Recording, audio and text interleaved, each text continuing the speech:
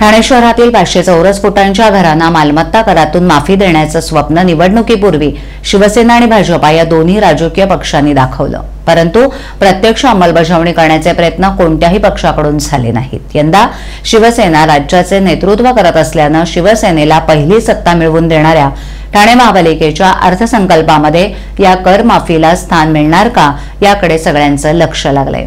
गेल्या पाच वर्षांमध्ये पालिकेवर वाढलेल्या तीन हजार तीनशे बासष्ट कोटींपेक्षा अधिकच्या दायित्व्यामुळे करमाफीऐवजी करवाढीची शक्यता बळावली आहे.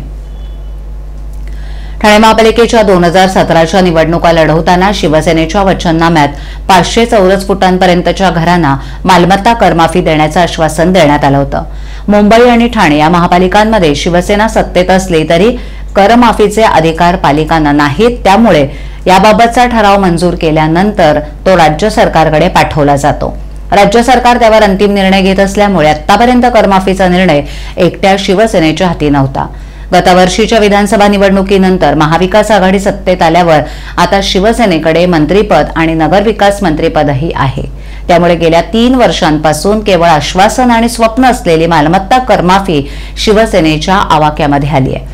गतवर्षी लोकसभा आणि विधानसभा निवडणूक असल्यानं ठाणेकरांना मालमत्ता करमाफीची मोठी अपेक्षा होती परंतु शिवसेनेनं याबद्दल फारशी आक्रमक भूमिका घेतली नव्हती.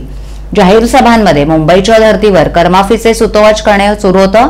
सत्तेवर आल्यानंतर शिवसेनेनं अर्थसंकल्पामध्ये करमाफी देण्यासंदर्भात कोणते आदेश दिले की नाही हे अद्याप स्पष्ट झालेलं नाहीये. त्यामुळे करमाफीच्या आश्वासन पूर्ततेची शक्यता धुसर होऊ लागली आहे